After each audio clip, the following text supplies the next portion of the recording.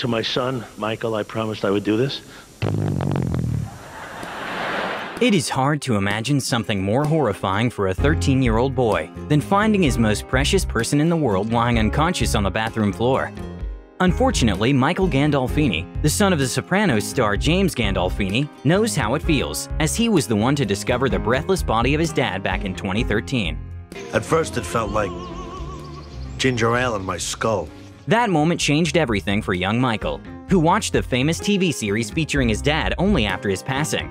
Michael had never planned to pursue acting, but when James Gandolfini was gone, he turned his life around. And now, this autumn, the world will see The Sopranos prequel, featuring Michael Gandolfini as young Tony Soprano.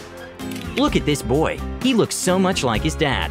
Before we tell you the chilling and powerful story of the young Gandolfini, subscribe to Rumour Juice YouTube channel for other unknown celebrity videos. I think you might want to invest. I don't know, Ma. I mean, if I get like a tip. Gandolfini the father was known to be a camera-shy person, which is hard to believe, minding his brilliant portrayal of Tony Soprano, the Italian-American crime boss throughout six seasons. The actor's stellar performance garnered extraordinary critical acclaim and widespread recognition, with Tony still being cited as one of the greatest TV characters of all time.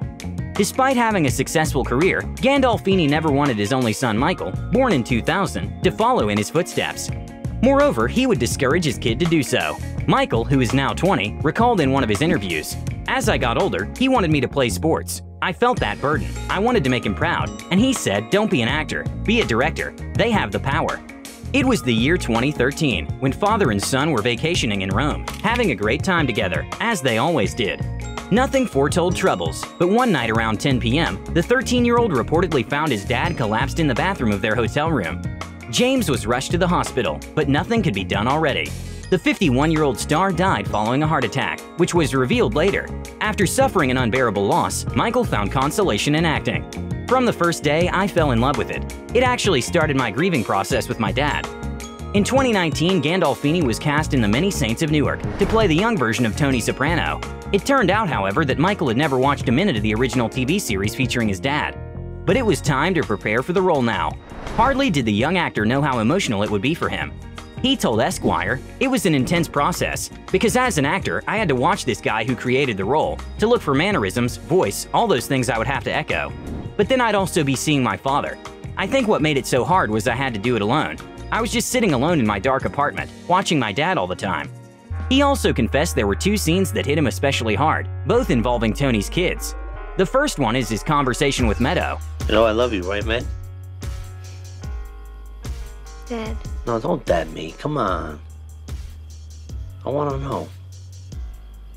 Do you know that I love you? And there was another scene that, according to Michael, crushed him. I couldn't ask for a better son, AJ. And I mean that. Thanks.